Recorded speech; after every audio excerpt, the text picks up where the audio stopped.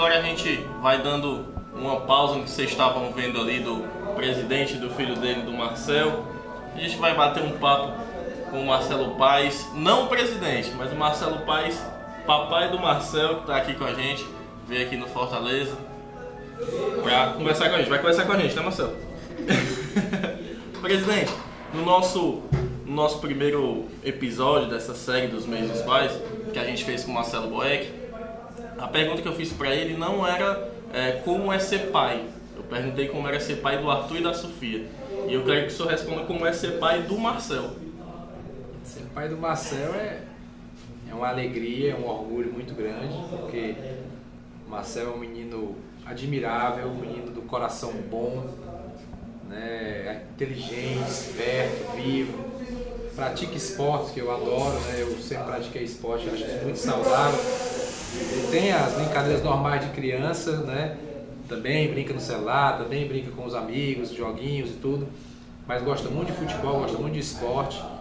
E isso é muito bacana. Um menino que gosta de estudar, não gosta de perder aula. Às vezes eu chamo ele para uma atividade do Fortaleza, às vezes até uma viagem. Não, papai, tem aula, não posso perder aula. Isso é dele, né?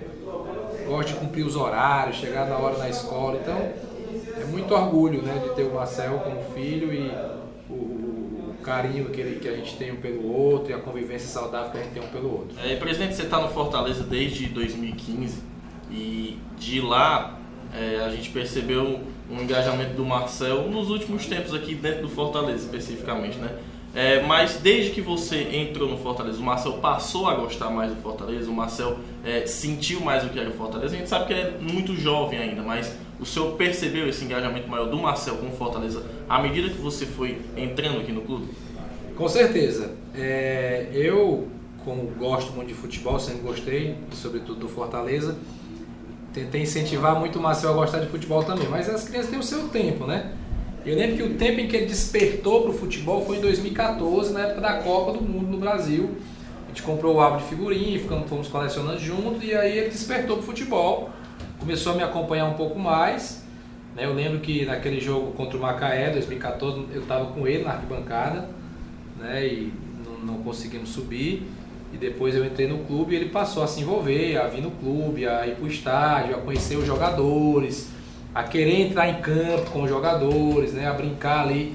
Então ele, ele naturalmente com a minha presença maior no clube, ele passou a ter uma participação, um interesse legítimo, porque eu não faço nada, entendeu?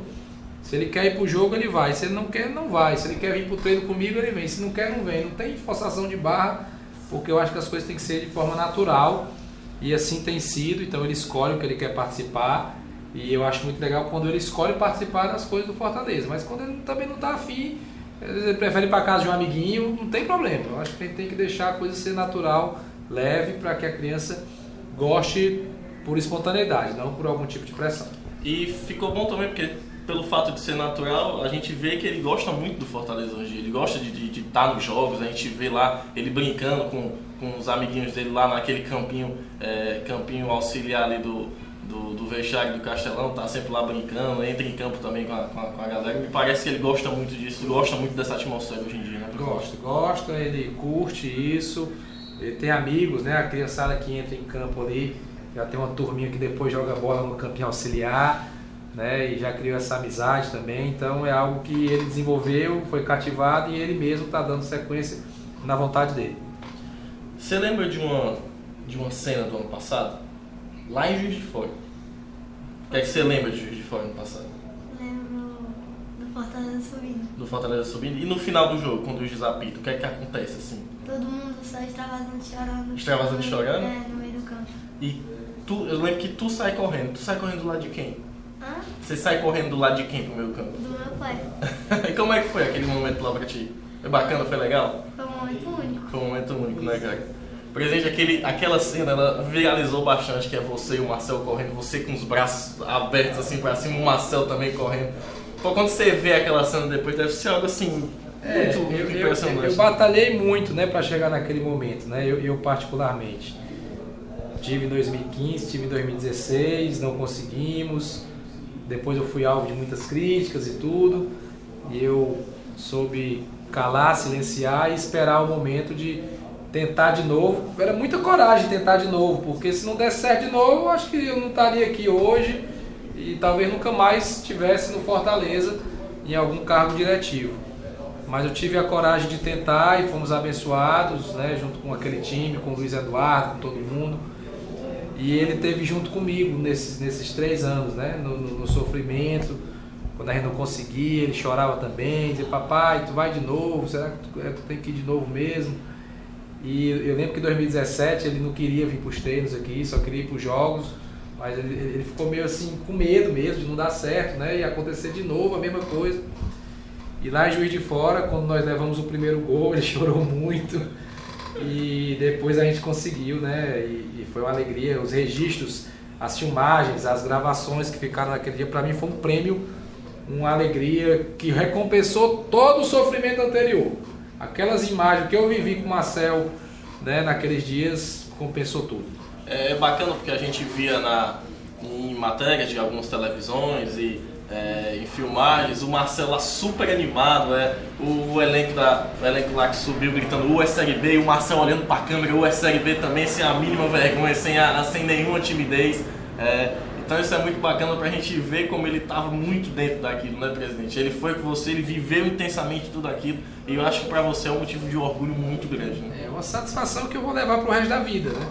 Porque são momentos que, que foram vividos e a gente teve a oportunidade de estar lá, de viver de perto, de estar junto com os jogadores, de estar na, em Juiz de Fora, naquele momento que foi marcante para toda a torcida do Fortaleza.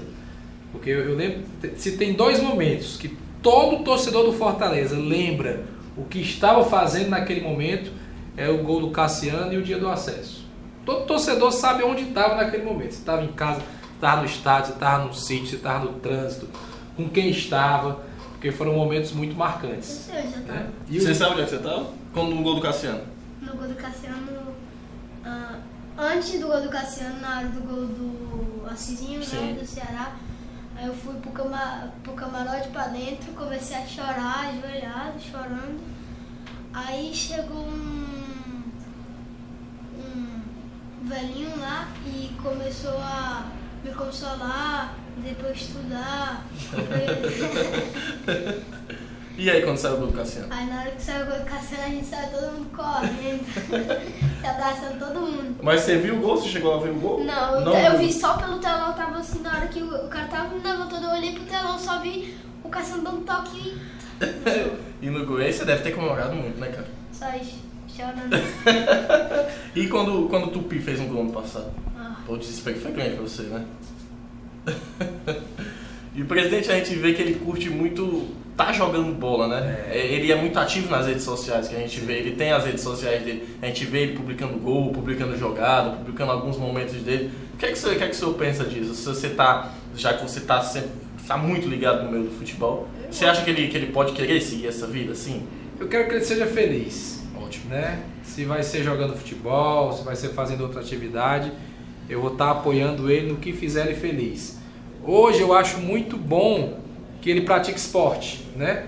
E, e pratique de forma lúdica, porque ele, ele brinca de futebol em casa, como brinca no condomínio, como brinca é, no campinho do auxiliar, como brinca treinando, né? Como Jogando joga videogame. jogando videogame, então é, é lúdico. Claro que tem a competição também, mas também tem a ludicidade. Ele brinca comigo, né? Às vezes a gente joga, ele fica chutando pra mim, eu fico defendendo, eu fico treinando ele um pouco, ele pede, né? Quando meus amigos vêm aí, às vezes ele vai no gol. Isso, então é, é, tem que ter a ludicidade, a brincadeira, e se vier a ser uma profissão, ótimo. Se não vier, o futebol traz muito aprendizado. Eu joguei futebol minha adolescência inteira, fiz amigos que trago até hoje, aprendi muito, muito mesmo a, a conviver em equipe, a aceitar a derrota que faz parte da vida, mas querer sempre a vitória, sempre, sempre, sempre, nunca desistir, né? a, a, a liderança, porque fui capitão em muitos times que eu participei, isso você aprende também. Então, isso é algo que vai, vai para a vida. Né? O, o- a criança que tem uma formação esportiva, ela leva essa disciplina, esses aprendizados para a vida adulta e eu quero que naturalmente seja com ele, mas que seja a escolha dele. Que seja a escolha dele. Se vai ser jogador, se não vai ser, eu vou estar apoiando, beijando e amando o que ele escolher na vida dele. Pô, cara, eu vi que você gosta de fazer gol, né? O seu negócio é fazer gol. Pelo que eu sei que você quer ser centroavante, quer ser pivô. Porque você joga futsal, eu vejo que você joga futsal, né? É, então, você quer, você quer jogar onde, Marcelo, quando você crescer? No campo, no Fortaleza. Que posição?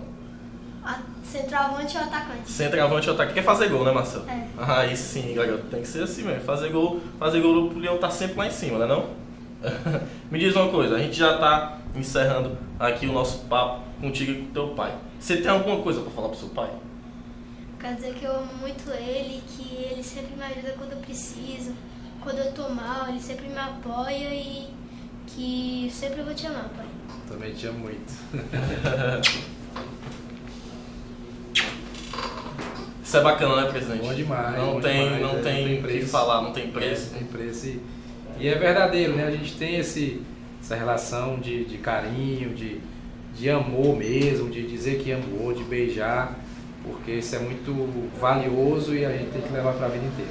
Eu digo pra ele brincando, quando você tiver 40 anos, eu vou te beijar e ainda vou te botar no braço.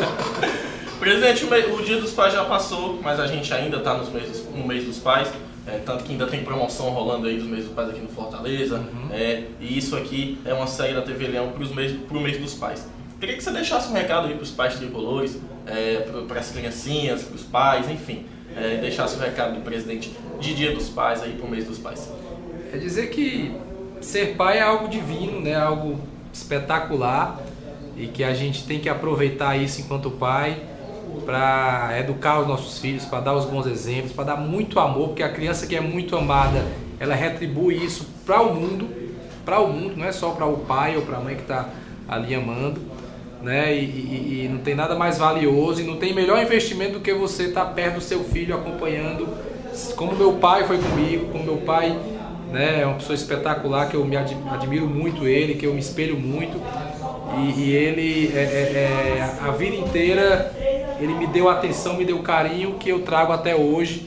Então foi um investimento que ele fez em mim, digamos assim, e eu tenho essa gratidão para ele até hoje. Assim eu busco fazer com meu filho, assim eu sugiro que todos os pais tricolores façam e leve seu filho para o jogo, leve seu filho para o estádio. O estádio é uma experiência espetacular, né? Não tem violência no jogo do Fortaleza, não tem. Esqueça esse negócio de violência. Né? Não teve uma ocorrência nessa Série B, nada. Tranquilo. Leva o seu filho para o estádio, leva o seu filho para viver essa, essa emoção, porque isso vai ficar marcado no coração dele pro resto da vida e ele vai levar o filho dele depois. E assim a gente vai mantendo a nossa chama, a nossa, nosso símbolo vivo, nossa energia viva por mais 100, 200, 300 anos. Amém. Quer deixar algum recado também? Dá like no vídeo. Rapaziada, muitíssimo obrigado pela, pela companhia de vocês. Depois a gente volta com o terceiro e último episódio da nossa série aqui dos Meses dos Pais, tá bom? Um forte abraço e até o nosso próximo encontro.